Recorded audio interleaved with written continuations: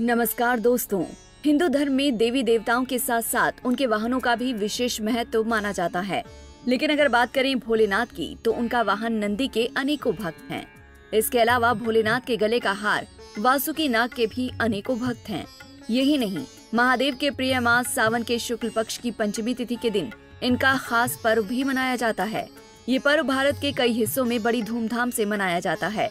नाग पंचमी के दिन नाग देवता की पूजा आराधना की जाती है। इस साल ये पर्व 9 अगस्त यानी कल मनाया जाएगा। ये दिन काल सर्प दोष से मुक्ति के लिए विशेष माना जाता है। शास्त्रों के अनुसार जिन लोगों की कुंडली में काल सर्प दोष हो या फिर सपने में बार बार सांप दिखाई देते हों, ऐसे लोगों को नाग पंचमी के दिन खास उपायों को करना चाहिए। तो दोस्तों, आज हम इस वीडियो में आपको बताएँगे नाग पंचमी के दिन कौन कौन से उपाय करें। तो आइए जानते हैं।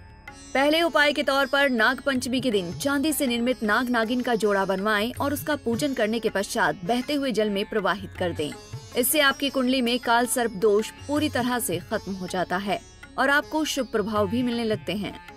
दूसरे उपाय के तौर पर नाग पंचमी के दिन अगर संभव हो तो किसी ऐसे शिव मंदिर में जाएँ जहाँ शिव जी की मूर्ति पर नाग नहीं हो।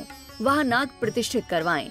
मान्यता है कि इस उपाय को करने से आपको नाग देवता का आशीर्वाद प्राप्त होता है। तीसरा उपाय उनके लिए है जो लोग पहले बताए गए उपाय नहीं कर सकते वो नाग देवता के साथ भगवान शिव का आशीर्वाद प्राप्त करने के लिए नाग पंचमी के दिन चंदन की लकड़ी के बने सात मौली शिव मंदिर में चढ़ाएँ। साथ ही इस दिन शिव जी को चंदन की लकड़ी या चंदन का इत्र चढ़ाएँ और नित्य स्वम लगाएँ। साथ ही नाग पंचमी के दिन भगवान भोलेनाथ को प्रसन्न करने के लिए शिवलिंग पर विजया, अर्क पुष्प, धतूरा पुष्प फल चढ़ाएँ तथा दूध से रुद्राभिषेक करवाएँ इससे महादेव की कृपा प्राप्त होगी चौथे उपाय के तौर पर नाग पंचमी के दिन किसी शिव मंदिर में साफ़ सफ़ाई ज़रूर करें। साथ ही संभव हो तो शिव मंदिर में किसी तरह का नव निर्माण करा सकते हैं, या फिर मंदिर की मरम्मत, या उसकी पुताई आदि का भी कार्य करा सकते हैं। पांचवे उपाय के तौर पर नाग पंचमी के दिन पूजा के दौरान इन मंत्रों का जाप अवश्य करें। इससे आपकी हर मनोकामना पूरी होगी। नागेंद्र हाराय ओम नमः शिवाय। ओम नाग देवताय नमः या नाग पंचमी मंत्र। ओम नाग कुलाय विदमहे विषदंताय धीमहि, तन्नो सर्प प्रचोदयात, मंत्र का जाप करें। तो दोस्तों नाग पंचमी के दिन अगर इन उपायों में से आप कोई भी उपाय कर लेते हैं तो आप भगवान शंकर और नाग देव की कृपा का पात्र बन सकते हैं। वीडियो पसंद आई हो तो कमेंट करके ज़रूर बताएँ। साथ ही इन उपायों को अपने दोस्तों के साथ भी ज़रूर शेयर करें। कुंडली टीवी डेस्क से प्रिया शर्मा की रिपोर्ट।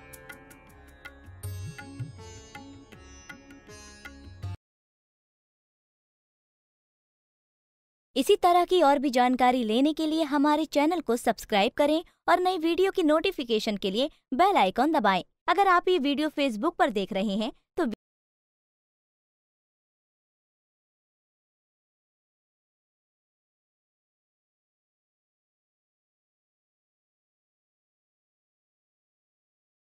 वीडियो को लाइक और शेयर करें।